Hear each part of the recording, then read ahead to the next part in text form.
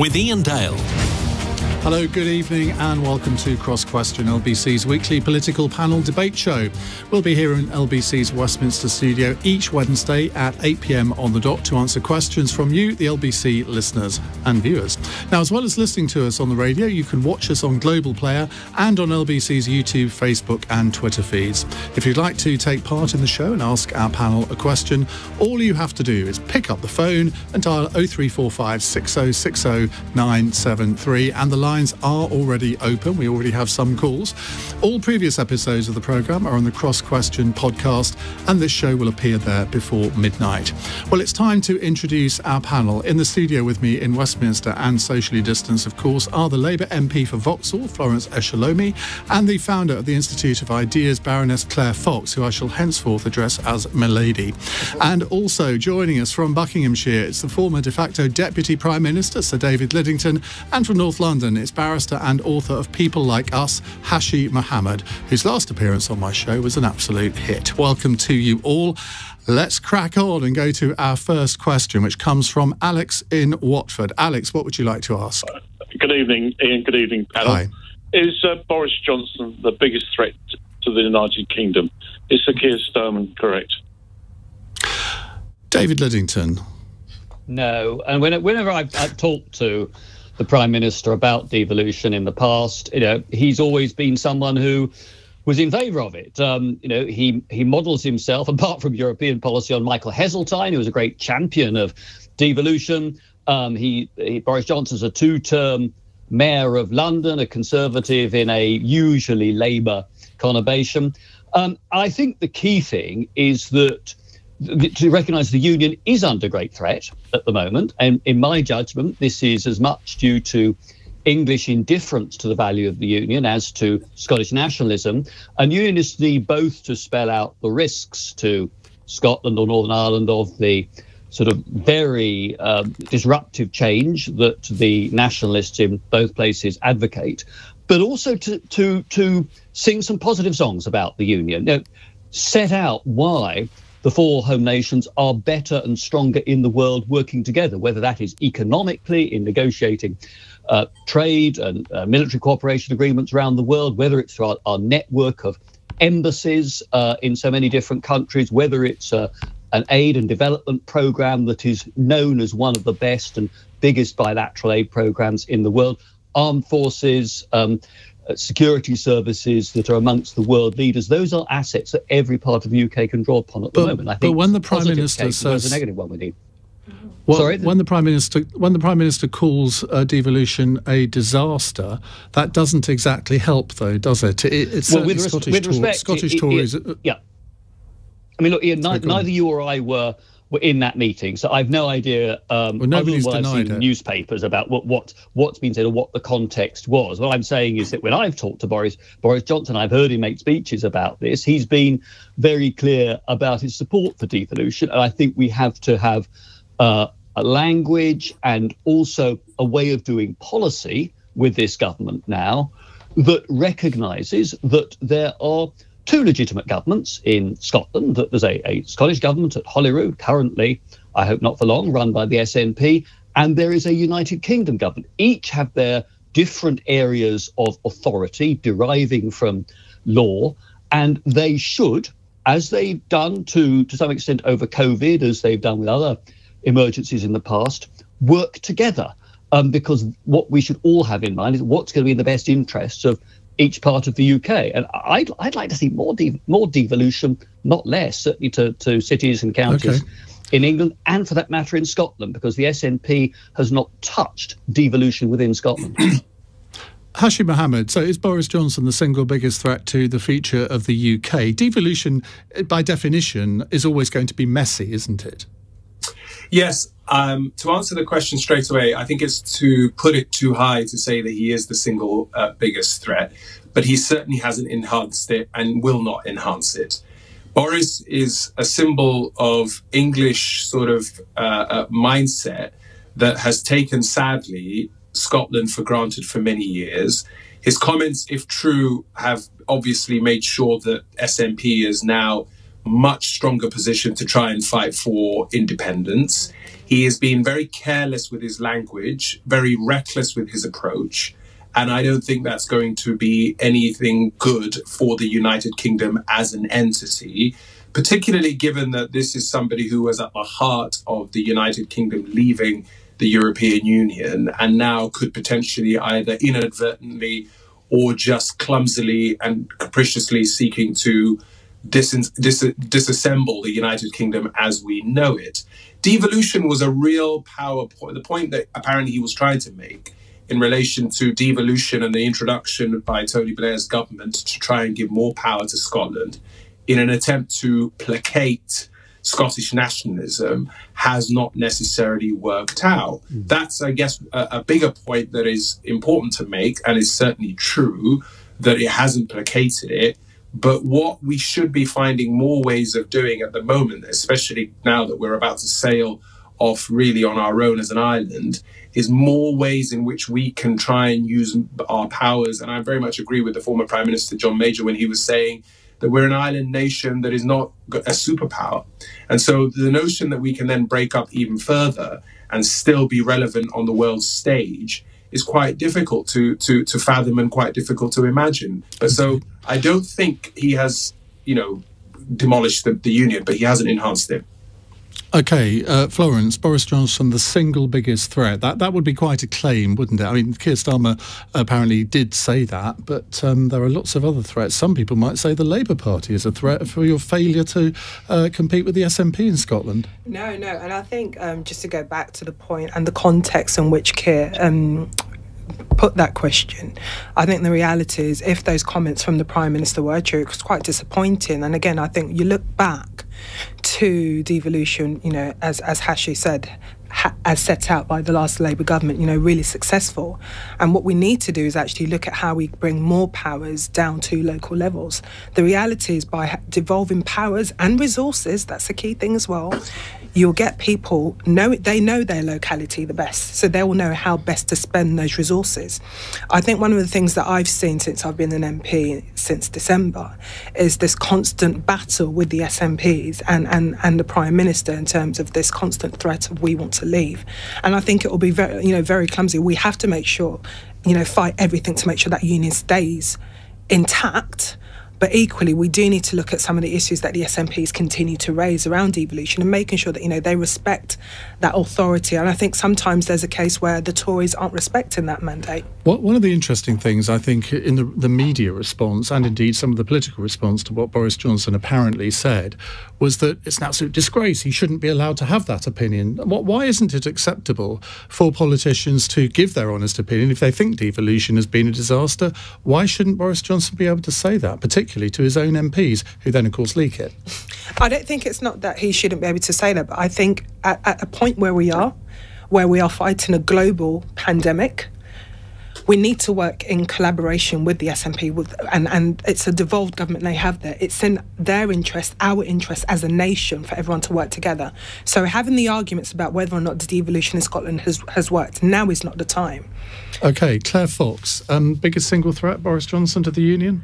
No, I don't think he is. But picking up on your question, I actually think this is a debate we should be having because people have referred to Scotland a lot, but actually I'm from Wales, and there is something of a disgruntlement about whether Wales is gaining from devolution because it was sold very much as more democracy. Whereas what's happened is the Welsh Assembly and the Senedd are seen to be physically closer but politically miles away from a lot of the people of Wales. It's not as though I mean you just basically. You're got, from North Wales. I'm from North Wales. I mean, okay, that's further from Cardiff than if you live in Cardiff, but I can tell you that lots of people in South Wales have started. There's a new party called Abolish, which is to abolish the Senedd. You know, it's doing reasonably well. I mean, you know, not. I'm, mm. but I'm just making the point. It's not a settled question. Actually, I think the greatest threat to devolution is that um, if you live in those areas, if you live in Wales, then the fact that the Welsh Assembly runs education and runs the NHS, and that's kind of Labour Party with the Lib Dems, you know, bit of Plaid thrown in. They're not doing it very well. I mean, there's disastrous problems in Welsh education and in and, and in um, in the in health. Of course, now what's happening is the biggest threat, in a way, to devolution at the moment is COVID or the handling of it. Because Mark Drakeford, who runs the, you know, he's in charge of Wales, for to, and Nicola Sturgeon, but yes, sorry, First Minister. Um, the, the point is, is that they they now kind of act as though I mean I, I, agree with Florence we should all be working together but it's actually quite fragmentary right so in fact in North Wales you know they're basically just over the border in Chester got completely different rules. Mm. There's actually fragmentary within Wales because different areas were dealt with differently, and there's been all sorts of tensions in relation to that. But he kind of acts, he does his daily press conference, giving him far more power in some ways, and people feel frustrated that they don't really feel that the UK is being taken seriously in Wales because it's actually a competition, and you can see that with Sturgeon. I mean, even the fact that you get this situation where the Prime Minister of the United Kingdom, regardless of what one thinks of him, says something about devolution and there's outrage as though he's breaking up the union, but from people who actually want to break up the union in See, some ways. So that strikes me as being a contradiction in and of itself. David Lidington, actually, surely the biggest danger to devolution is the record of the three different administrations. If you look at Scotland, for example, they have plummeted down the international league tables on education and I think health outcomes. Now, if I was a voter in Scotland, I would look at that and think, well, why has that happened? Um, you, you can blame a political party, and yet that they will that political party in Scotland will still blame the Westminster government for all their woes. Yes, I think it's one of the challenges for the Scottish Conservatives in the forthcoming elections to the Scottish Parliament will be to try to focus voters' uh, attention on declining school standards, lack of competitiveness in the Scottish economy, um, worries about health and social care in, in, in Scotland every bit as much as in, England or in Wales, uh, and um, hold Nicola Sturgeon and her party to account for that. Um, and I do think that this talk by the SNP of the need for another referendum is in part a, a deliberate political distraction from that domestic record, which otherwise they would have to defend and might have difficulty in okay. doing so. I, I, I also right. pretend, you know, let's be honest with it, the SNP has a single strategic objective that overrides everything else, which is to break away from the United Kingdom and have an independent mm. Scotland. And they have a bit of a vested interest in cataloguing grievances. Imagine. Right, I want to. I want to fit in one more question before we go to a break. So, quick answers from all of you on this, if I can. I suspect you're all going to say the same thing. Uh, Will in Camberwell, what's your question, please? Coronavirus is on the rise today with more than 19,600 extra cases and 529 deaths. With promising signs of a vaccine on the cards, is it time for mandatory vaccination? Florence Eshalomi. Hmm. Mandatory. I think what we need to do is make sure we address the issue of there are so many people at the moment who there's so much misinformation about a vaccine. I got sent an email on Sunday actually from a constituent close to the GP surgery that I've used all my life in the heart of my constituency in Brixton. And there was a big graffiti saying, don't trust government vaccine. And I think, you know, we need to look at that. If the, if you look on TikTok, there's the hashtag vaccines do not work.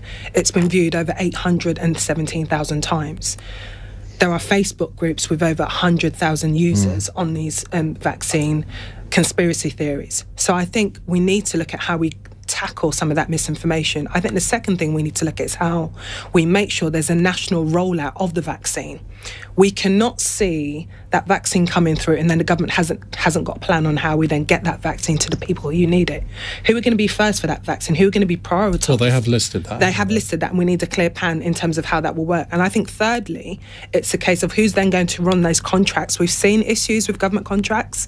Um, I don't know if uh, if any of your listeners might bring that up tonight. Well, you never know. But, you know, it's a case of making sure those contracts there's transparency and public okay. money. But essentially you wasted. don't believe in compulsory vaccination. I think what we need to do is make sure there's a clear public health message around yeah, but vaccination. That's not, the question was should they be mandatory? I've taken my flu jab this year. I'm petrified of needles, and I think for the vulnerable and people at risk, I think they should be. But okay. again, there needs to be public okay. health information around that. Claire Fox, as an arch libertarian, I imagine you don't think they should be mandatory. No, I don't think any uh, vaccine should be mandatory, and that includes MMR. And I'm a great supporter of MMR. I mean, I, just to make that clear, yeah. I think it's the mandatory nature. One of the things, the civil liberties that was long fought for, actually, was the uh, right of an individual to refuse medical intervention, any medical intervention. So I think we shouldn't forget that. I know that we're all meant to accept the new normal, but there are certain things that I want to hold on to of the normal, which are which are rights. I, I'm what I'm actually worried about is this discussion about misinformation. I mean, I understand what Florence means. But I was really upset when I saw the Labour Party advocating, for example, or calling on the government to call on social media companies to ban misinformation on vaccination. Effectively, they actually use the words. But that will lead censor. to death, Claire. No, I know. I understand the, the argument that's being used. I seriously think that this is going to create a backlash, a genuine backlash. So the big issue is trust. We need to persuade those of us who believe in the excitement around medical intervention on coronavirus, needed to persuade our fellow citizens of why they should take this vaccination, right? And we should be open and enthusiastic. But when you start saying ban, censor, calling people anti-vaxxers if they raise a question. There are anti-vaxxers, I understand that, but there's lots of people who just ask questions who get shut down as anti-vaxxers and demonised. It, it, I think it's just going to backfire on us. Hashim Mohamed, it is quite reasonable for somebody to uh, say, well, look, th this vaccine hasn't been tested for as long as vaccines normally are. It's normally years that they test them, and people are quite entitled to ask for answers on that, aren't they?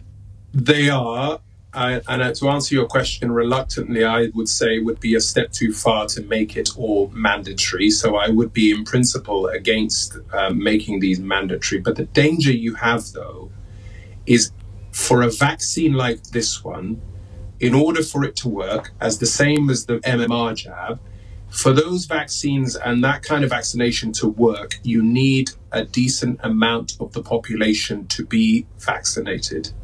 You can make your own personal choice as to whether or not you want to be vaccinated if you are an adult of sound mind and no government should try and enforce it on you. But if you do not want to get vaccinated and yet wish to be part of society, you owe a duty of care to those people out there who are vulnerable, whose systems are compromised, and who may not be able to get their own vaccinations. So there is a bigger question than a simple libertarian one of a personal choice, and one in which we have to understand that when we are packed on a train, or we are going to school, or we are mixing with each other in the workplace, the person next to you relies on you as an individual mm. to play your role and be responsible.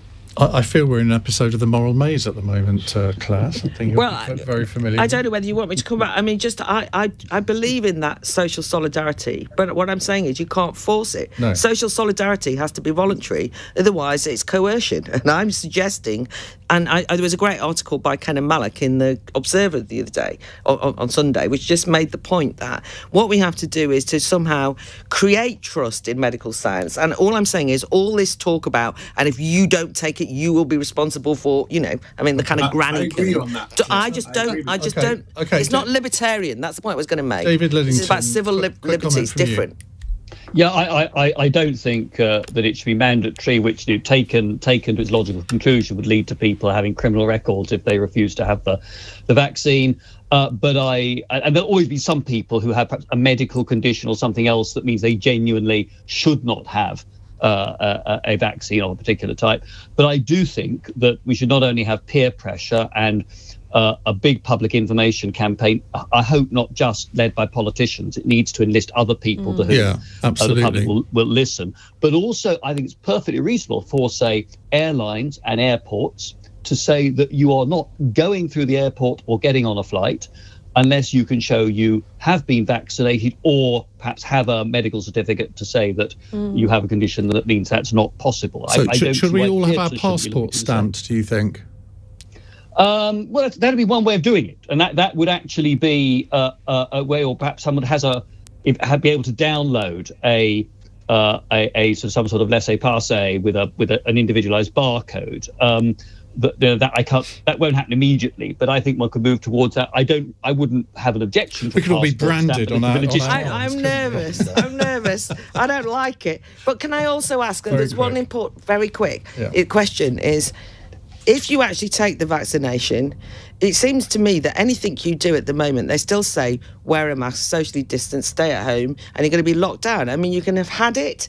The vaccination is meant to give you just as having had it would with, say, for example, Boris Johnson, a way that you don't pass it on. But actually, then we find out, well, even if you have had it and you're not likely to pass it on, and there's only about 10 people in the world that we think has had it a second time, you've still got to socially isolate and not go out. So, you know, the, the problem is, is that I think it's also been used as a silver bullet.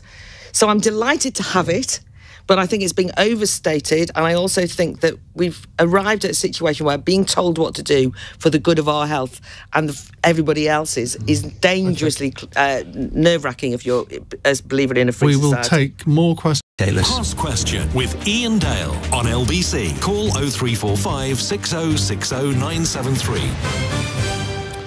Let me reintroduce my panel to you. Florence Eshalomi is a Labour MP. Claire Fox is a, I was going to say Brexit Party peer, but you're not, are you? You're a crossbench. Uh, no, uh, uh, non-affiliated. Oh, so that's not crossbench. No, you have to apply to be crossbench. Oh. What? You have six months quarantine, so they can check out whether you're a complete lunatic. oh well, bad luck. exactly, exactly. I, I, probably will be non-affiliated for some time. um, David Lidington, you're not yet in the House of Lords, but you ought to be. Um, thank you for joining us, and Hashi Mohamed, I'm sure your time is going to come too. Uh, let's don't go to our next don't question. Wish such a thing on me. Do not wish exactly. such a thing on me. I think. It's all. It's all right. You're not missing much, but anyway. John is in Preston. John, what's your question, please? Oh, good evening, Iain. Uh, yes, uh, I've paid tax for 44 years, uh, Iain, and I'm in the 3 million excluded group. So my question for the panel, please, is why the government choose to keep ignoring people like myself who've paid tax over these years? That's the question I'd like to ask, please. Okay, Claire Fox. Well, I don't know what the three million group is. I've got to ask. Well, you see, that's a is terrible this... thing that you. No, I know. know. exactly. But you mean the people who are not getting the any people support? who are self-employed. No, I'm just checking before I start yeah. talking. No point.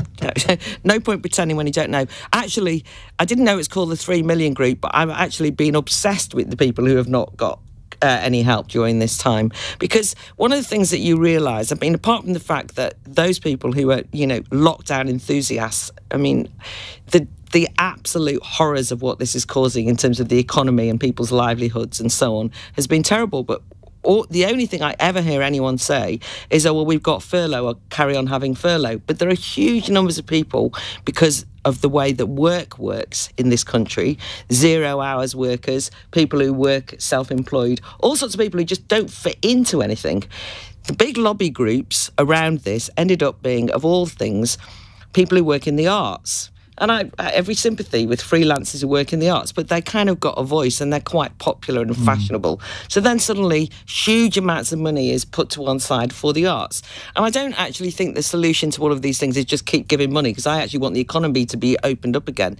But that's one side. There are still all of these people like um, our caller who are just not getting anything.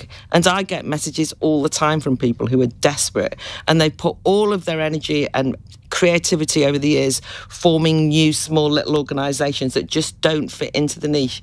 I don't know what to do about it. I mean, I kind of mention it, tell people in politics. You might say I'm in politics, but you know, the people who've got power, you try and draw attention to. Rishi Sunak seems to be giving out lots of support all over the place. So I just can't understand why they can't see that there's this group of people who are desperate. And also, David Lidington, these people are, you could describe many of them as natural conservative voters. Does this show the limitation of government, that there can never be a scheme to cover everyone, and that maybe the Treasury has just put it in the too difficult box, which I, I think a lot of people will be very frustrated yeah. by? I think there's a strong, strong element of truth to that, Iain. I mean, the, the sort of the three million we're talking about, it, it includes different categories of people. So it includes freelancers, including musicians and uh, actors and, and, and the like. It includes people who have only recently become self-employed, so they don't have the track record yeah. of accounts uh, against which sure. support could be measured, and it's direct company directors, you know, which often means the di- directors, a husband and wife perhaps, of a very small family business who take their income through dividends rather than through salaries. And I suspect the truth of this is that the Treasury is thinking, A, it's just too complicated uh, because these people don't fit neatly into a category that shows up on the, the Treasury's databases in the way that those who have been paying um, self-employed national insurance uh, contributions for uh, a year or more do, or that people being paid by PAYE do. Um, and also, they worry, I think, that particularly when it comes to the company directors, or if we give it to the the the the, the, the, the little one man, one woman band uh, at that level, well, you can't write a rule that doesn't then allow the directors of big PLCs and the like to to claim as well. Partnerships are another another category that that, that sometimes uh, falls into this trap. My view is that, frankly, the government ought to uh, be trying to do more and not just say, well, you can apply for universal credit if you run mm. out of resources. And I, I think that at the very least, I'd like to see the government explain in greater detail why they have concluded at the moment that this is too difficult because I think it's the, the, of things frustrates me about the government's handling of, of, of COVID and I I try not to criticize them too much because they are facing the most horrendous set of decisions between choices, none of which are nice. Um, and sometimes six months down the line, you can say, "Oh yes, that was a mistake," but actually six months ago, it was reason a reasonable decision, given given the evidence and the advice available at that time. But I just wish they'd be more open with people. I think there's still a huge store of public goodwill over handling the pandemic. People get this is really tough. Um, but I think government could trust people or be open okay. with their arguments and how they try to balance different different mm. interests. Hashi. Yes, I think um, some of you may or may not know that um, barristers are, for the most part, self-employed.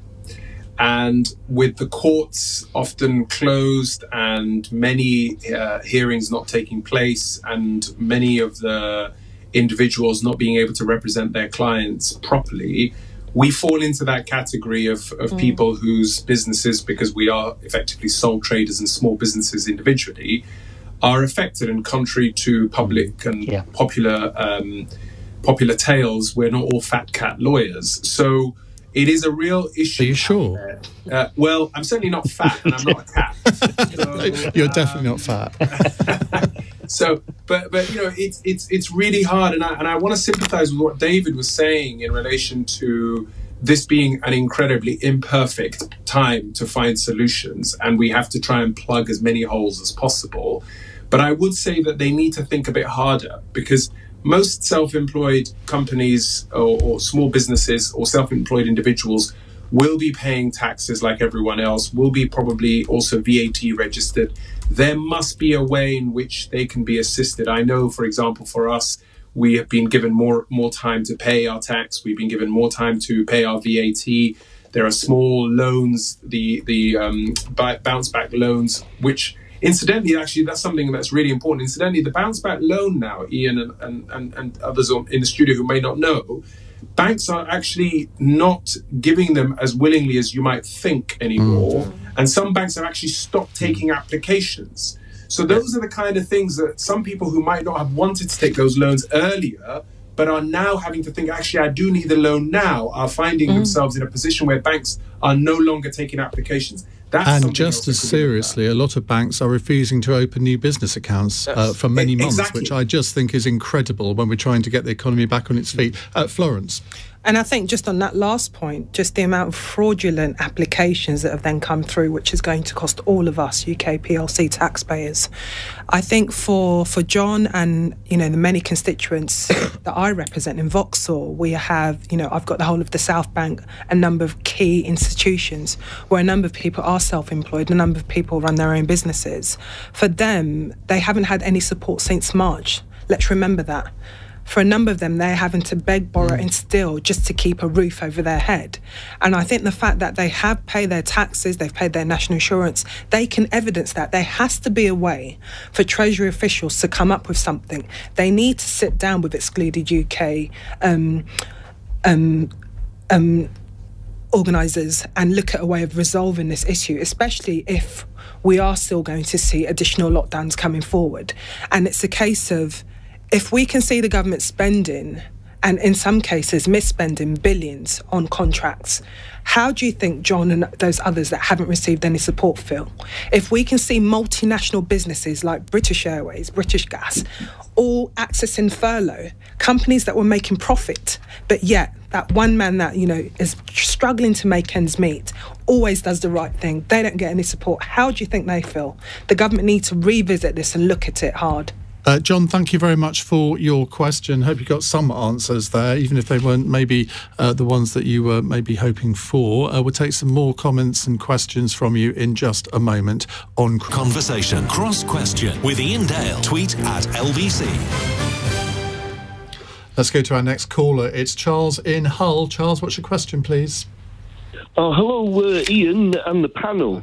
Um, uh, having lived through the uh, 80s with the militant tendency against Nick, uh, Neil Kinnock, um, uh, is the NEC, um, uh, with its belief in reinstating um, Jeremy Corbyn into the Labour Party against Keir Starmer's will, um, who's going to win? Florence Eshalomi, I know you were gagging to answer this question. This,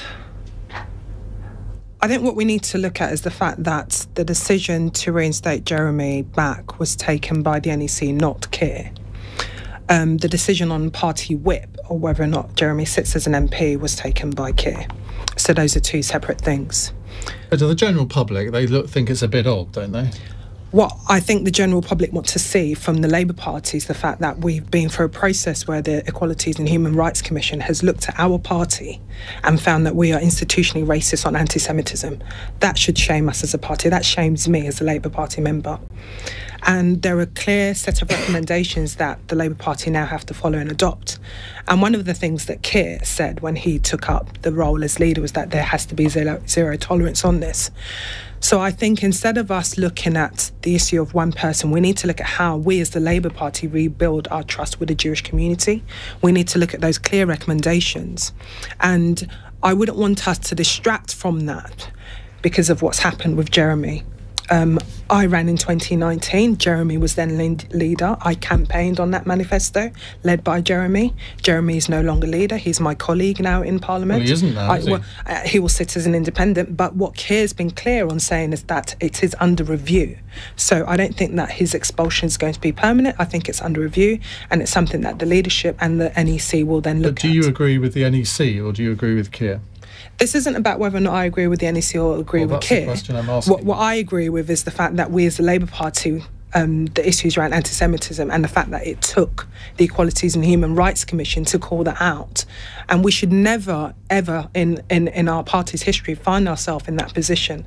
That's what I'm clear about, and that's what yeah, I want okay, the leadership to look at. both ways, or trying to have it both ways. You, you either agree that Jeremy Corbyn should be reinstated, or you don't that's not a decision for me to make. it's to not make. a decision, but you will have an opinion on it. I, I have an opinion in that well, Jeremy's Jeremy's reflected on his comments that he made three weeks ago, and he's um, he's seen that his comments maybe were not the right comments, and the NEC has taken that decision. The decision in terms of the whip lies with Keir as the party leader, and that will be for Keir to decide whether or not he joins back. But to, Jew- to Jewish members of the Labour Party, or at least I would say most of them, they're, they're going to see this as a complete fudge, and I think the electorate are going to see it as a fudge. We did a phone in on it, was it last night or the night before? I, I, I was inundated with texts from people, particularly, saying, well, I was actually willing to give Keir Starmer another go, but this has really shaken me. I, to that, um, to any Jewish members listening, I, I would say um, continue to, to, to, look at what the Labour Party is doing. And I think, again, Keir's been very clear in terms of his stance on zero tolerance, and that means zero tolerance. See, whenever a politician says something's very clear, it usually means the exact opposite, doesn't it? Um, Hashi Mohamed, what's your view on this? Was, I mean, I think was, it's. A, was it right to reinstate Jeremy Corbyn? I, don't know the details of, of what happened with the investigation, but I think on balance, it was probably too soon to reinstate him. I think that a further investigation that looked at this issue in a bit more detail would have been useful. I think a bit more reflection on the part of Jeremy and the way in which he has approached this issue would have been welcome. The Jewish community is terribly, terribly sad about what ha- what has been happening with the Labour Party, and Jeremy himself has accepted that there is a level of anti Semitism that has been allowed to exist and run riot within the, within the Labour Party for a, a far too long. I think, but now for me, the biggest worry is that you have a leader a current leader of the Labour Party who is having to deal with the former leader and the former leader's problems, mess, and issues in such a way and a, at a time when the current prime minister and the leader of the Conservative Party, quite frankly, is there for the taking. And so for me, what the Labour Party is doing, and the, to the question of what Charles was asking, is simply again what they were doing in the 1980s of this navel, navel gazing, of just simply not understanding that a democracy is worth nothing when it doesn't have effective and proper opposition that can hold the government to account. David. Uh, I actually agree with Hashi's last point. Um, I think that it's in the interests of any democratic country for the government of the day to be up against an opposition that is seen by voters as a potential alternative government. That keeps the government on its toes. It government means government tends to make better decisions, and people have a choice. And I, I, I like Keir. I, I, a lot of respect for him. You know, got to know him reasonably well when we were in the Commons together. Um, and I, the problem with uh, this decision is that it shows that Keir isn't fully in charge of the Labour Party and that the Labour Party hasn't fully come to terms with the Equalities and Human Rights Commission's damning report. And worse than any of that, worse than any of the politics of this, is the message that it sends to the British Jewish community, for many of whom memories of the Holocaust are just a generation back. I mean, you might get my sort of age. The I was at school where num- quite a number of the boys I was at school with were Jewish, and they had parents who had got out of Germany or Central Europe just in time in the 1930s. I had two boys in my class who had, had fathers who had survived Auschwitz. I always remember going to, to tea with one of my mates, and his parents and his, his dad I can't remember the circumstances. His dad suddenly rolled up his sleeve and showed me the Auschwitz camp number that had been tattooed into his wrist.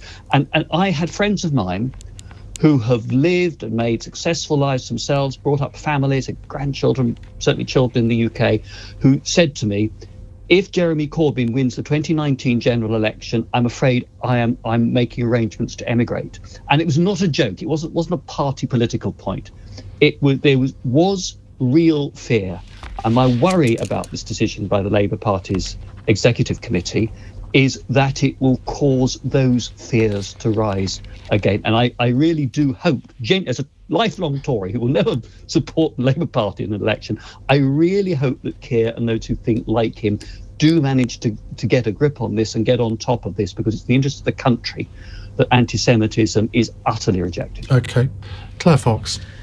The internal procedure. Oh, don't do that. The internal procedural obsession about how the Labour Party have dealt with this, I fear, takes our eye off the real issue, which is anti Semitism and what it is and how to fight it and, and, and deal with it. So I did not agree with the expulsion of um, Jeremy Corbyn necessarily. I mean, I'm not in the Labour Party. I wouldn't necessarily have expelled him because it felt to me as though we ended up in a situation where what was being saved was the reputation of the Labour Party rather than tackling the issues of anti-Semitism. And what I and now there's the NEC and the inter. I mean, it's like sort of the big issue surely is that rampant on the left, which I consider myself to be part of, regardless.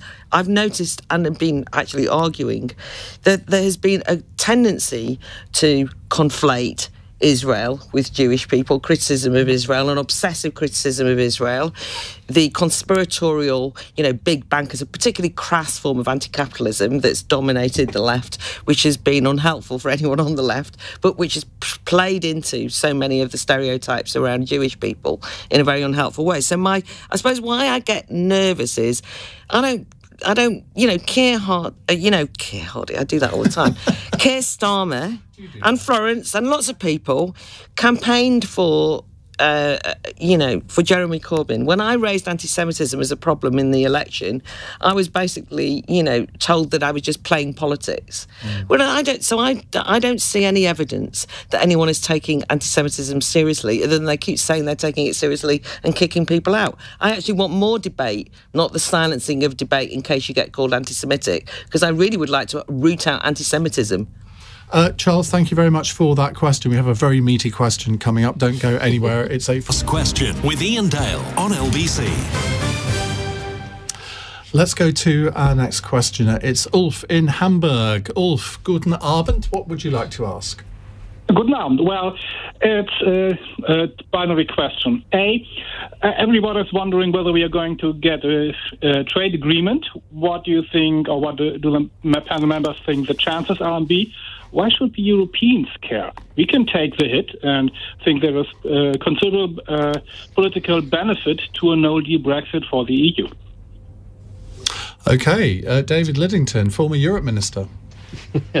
I think I think it's in the balance. I think I, I still am in the camp that thinks it's uh, 55-45 that there will be a deal, a, a, sort of thinner deal, and a more distant relationship that personally I would have would have preferred, but it, will be the kind of deal that the prime minister campaigned for when he sought the Conservative leadership and again at the general election, so he can claim a mandate for that approach.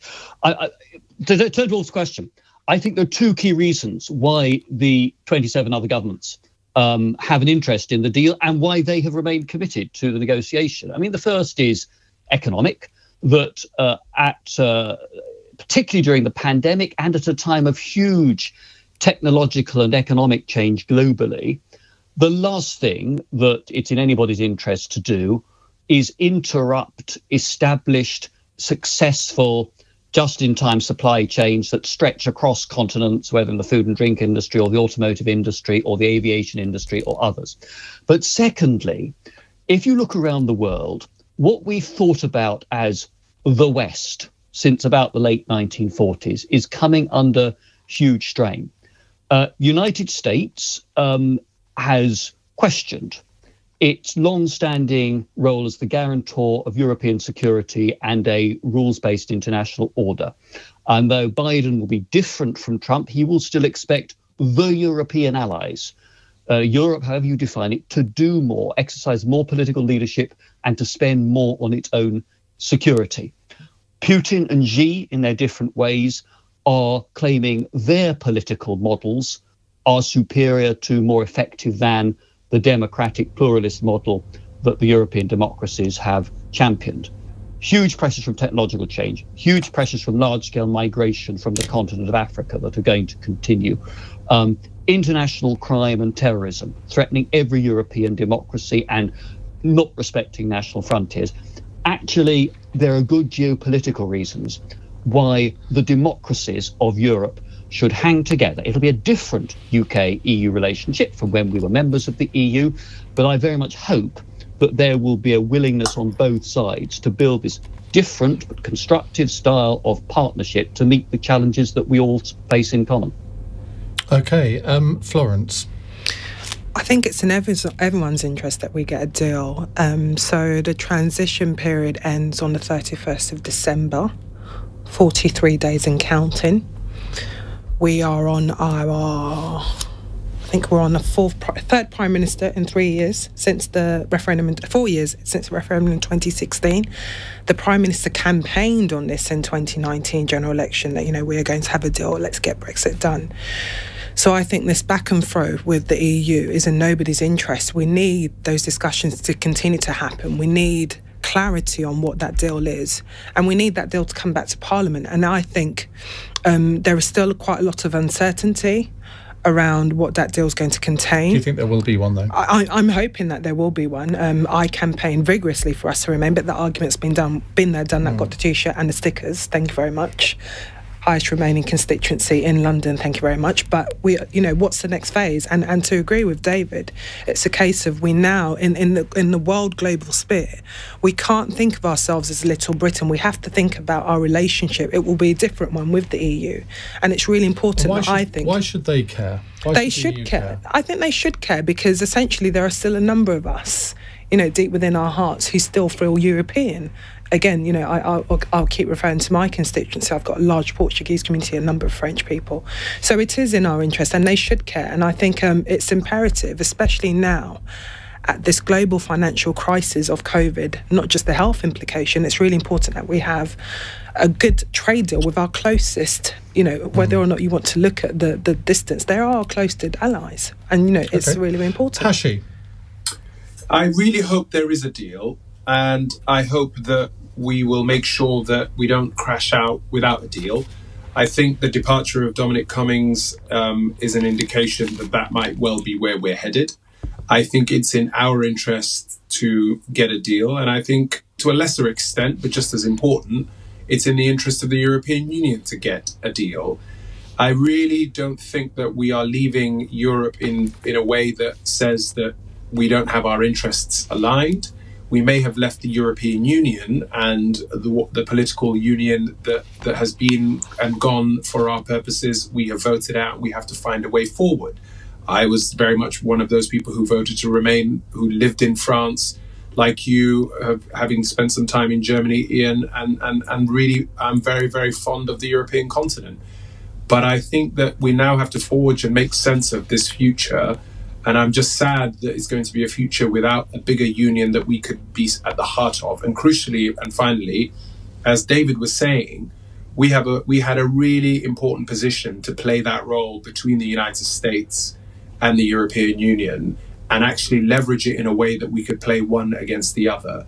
That has been diminished significantly, um, but hopefully in the future we can find another way in which we can potentially and strongly ensure that we leverage our small power in the best way that we can.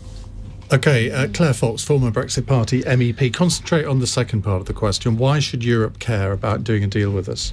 Well, I, they don't need to, uh, but but Europe and the EU are distinct, and it is important. This, which is, is that um, despite what's been said, you know, I'm a proud European. I, I'm an enthusiast about the European continent, and I've never believed in Little Britain. We're talking about a trade deal, and the difficulties in relation to this trade deal and the withdrawal agreement are, are, you know, lots has been written about it. I think it's not the end of the world if there's no trade deal for the EU for the UK. I don't think Barnier and the EU are behaving as though they are going to get a trade deal, but I, my, my suspicion is that there will be one. I just don't want one at any cost, and I fear that as Brexit was never about trade, but it was about sovereignty, that to get a deal Boris is going to betray sovereignty. And that's what a lot of leavers are thinking about. But just on the, the points that David made, very important. The West is under stress and under strain, and there are challenges, and we've all seen that in international, you know, democracy, and as he explained. But, you know, the way I think you have to deal with this is, for example, when President Macron in France came out and made that fantastically important speech about Enlightenment values and the West and standing together, I think we should have said, we support you, and every country, yeah. and Merkel should have said that. Mm. But Merkel didn't say that. And in fact, Boris Johnson didn't say that. In fact, he was very isolated and up against it, defending Western values. That's got nothing to do with being in the EU. So I do think that if you're going to defend and fight for democracy, you actually have to fight for the sovereignty of different countries, and respect their sovereignty, but you've also got to fight for uh, the European values the EU say it embodies. And I think we could do that whether we're in the EU or not. We're out the EU, but let's see the fight for the values. Uh, let's go back to Ulf. We're running out of time, Ulf. So, very briefly, your reaction to what you've heard. Oh, from a merely intellectual point of view, I'm inclined to agree. Let me put it this way. Maybe you're unaware of the amount of annoyance felt for the United Kingdom at the moment. Nobody cares that you're leaving. So we all, we all understand that. Uh, therefore, don't expect there to be an upheaval if there is no deal. Fine. Well, on that, Good, I'm cool. On that, on that positive note, uh, we'll end that there. Just um, a quick final question from Stephanie in Cambridge on a text. Oxford students have voted to ban beef and lamb from campus canteens. What food would you ban? Florence. Oh, because it's coming close to Christmas, Brussels sprouts. I'm so sorry. I agree with you. Uh, Claire? Sorry, I would ban Oxford students banning things. They ban far too much. That's and a cop out. Come on, you must got have some food that you really hate. quinoa. Uh, oh, I don't even know how to pronounce it. Oh, I God. eat I don't know what that is. David, David, David Lidington. Quinoa, is that how you say it? Oh, yeah. Yeah. Hard boiled eggs. Oh no, they, I, I love them. Yes, Oh, me no, no. I just- Hashi. Really I just bad. I cannot abide ban them. everyone who makes really bad ice cream. Is there such a thing as bad ice cream? There's a, it's a very selective. I, I'll throw avocado into the mix. Well, that's, Well, it, oh, yeah. that's it Oh, for today. yes. You can catch up on this podcast on the Global Player or wherever you get your podcasts from. And of course, you can catch up on YouTube as well. Uh, do join us again next week for Cross Question at 8. You're listening to LBC. It's two minutes past nine. On your radio, on Global Player, and Play LBC. leading Britain's conversation. This is LBC.